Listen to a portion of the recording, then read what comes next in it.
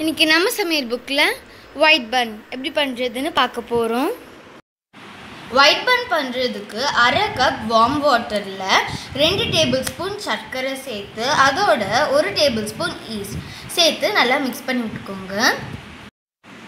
இது ஒரு ten minutes மூடி வச்சுருங்க.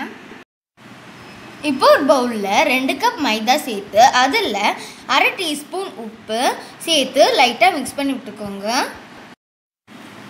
இதோட நம்ம வச்சுருந்த அந்த ஈஸ்ட்டு சேர்த்து நல்லா பிசைஞ்சு விட்டுக்கோங்க. இதோட கொஞ்சம் கொஞ்சமாக தண்ணி சேர்த்து நல்லா சாஃப்டான மாவாக பிசைஞ்சு வச்சுக்கோங்க. இது இந்த மாதிரி கையில் ஒட்டிட்டு தான் இருக்கும். இப்போ இதோட ஒரு டேபிள் ஸ்பூன் எண்ணெய் சேர்த்து மிக்ஸ் பண்ணி விட்டுக்கோங்க.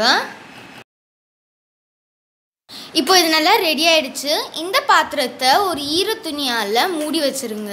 ஒரு மணி நேரத்துக்கு இது ஊறிட்டுருக்கணும் ஒரு மணி நேரம் கழித்து இந்த மாவு நல்லா பெருசாக இருக்குது இப்போ இதை லேசாக பிசைஞ்சு விட்டுக்கோங்க. இதை சின்ன சின்ன பீசஸாக வெட்டி எடுத்துக்கோங்க.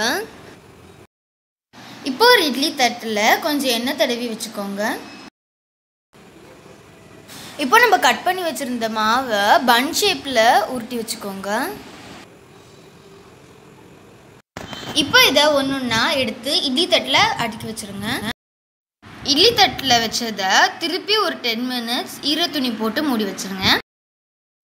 இப்போ ஒரு இட்லி பாத்திரத்தில் தேவையான அளவு தண்ணி சேர்த்து அதுக்கு மேலே நம்ம பண்ணி வச்சுருந்த பன் பேட்டரை வச்சு ஒரு டுவெண்ட்டிலேருந்து twenty five minutes medium to high ஃப்ளேமில் வச்சு பேக் பண்ணிக்கோங்க.